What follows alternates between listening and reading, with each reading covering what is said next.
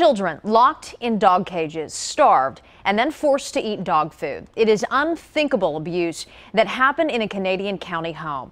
The adoptive parents are in prison. And five years have passed since KOCO broke this story. And now, for the first time, one of the kids, who is now an adult, is sharing his story only on 5.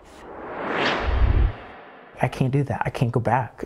And, and I was like, if I do, they could probably uh, hurt me uh, just as bad or possibly possibly kill me. Tobiah Ithiel recalls the moment he escaped a decade of abuse at the hands of his adoptive parents, John and Sonia Kluth, people he could only refer to as sir and ma'am.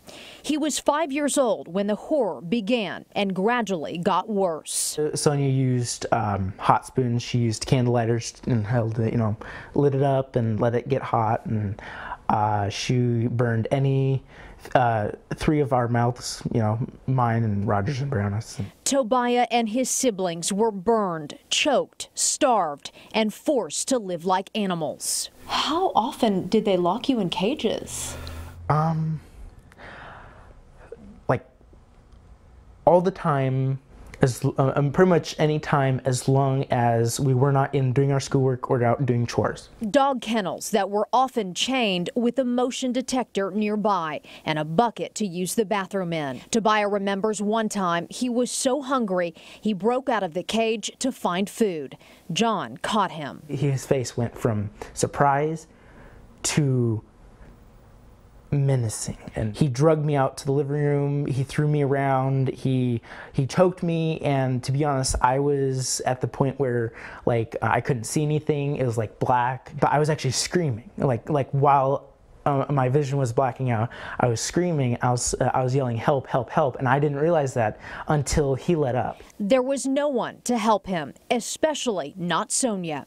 She trimmed my fingernails completely down to the the skin. At 15 years old and a meager 83 pounds, Tobiah was once again searching for food when he decided to run away.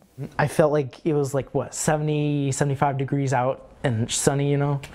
Uh, but it was 26 degrees on a uh, moonlit night, you know.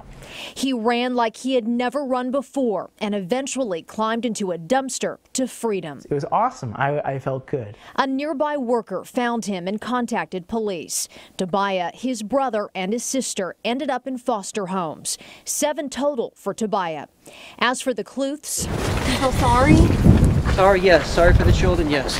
Few words of remorse as they learned their fate. Life in prison for Sonia, 30 years for John.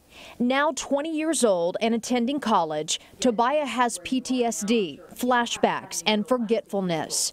But also a loving family, foster parents he can finally call mom and dad. And as his shirt reads, he has his savior. And in the end, he will provide everything you need in the end.